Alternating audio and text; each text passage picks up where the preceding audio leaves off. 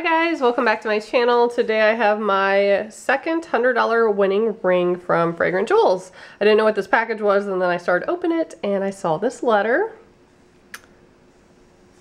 And this is how they send it. They don't like even try to protect it, so I'm always nervous the ring is going to be bent. Put in a little black bag. With the $100 rings, you don't get any kind of input of uh, color, stones, anything like that. But you do, so I've heard, with the um, $1,000 and $10,000 rings.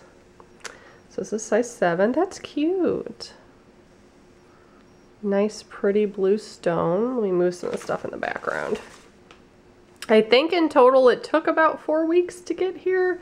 Took a little more than a week, I think, just to get the email. Then you have to verify your name, send them pictures front and back of your code.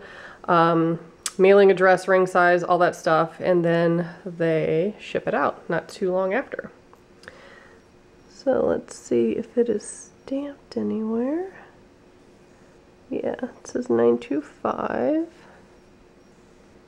because it's sterling silver.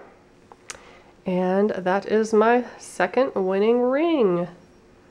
It's crazy how it took, I've five years, maybe six years before I won anything. And you guys know how much I buy. Um, but yeah, this is very pretty. I like this much better than the last ring that I got. Um, but if you want to see my last winning ring, you can just put in Mama Mittens and winning ring, Fragrant Jewels, and it will come up. Thanks so much for watching. Bye, guys.